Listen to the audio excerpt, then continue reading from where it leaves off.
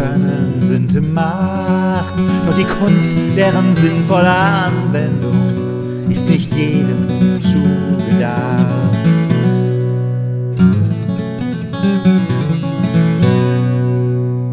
Schlaue Leute zeichnen sich durch hohe Intelligenzquotienten aus.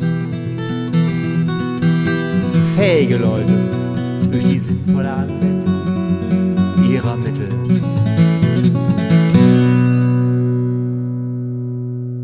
Der Schlaue und Fähige beherrscht sein Fachgebiet, bringt aber nichts Produktives für die Allgemeinheit ein. Der dumme Fähige bewirkt wenig, weiß aber, warum er lebt.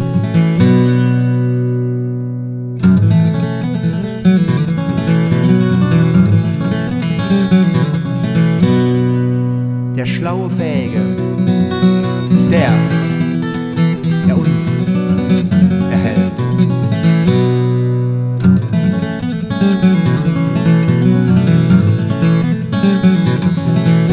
Denn Wissen und Können sind Macht, doch die Kunst, deren sinnvolle Anwendung ist nicht jedem zugedacht.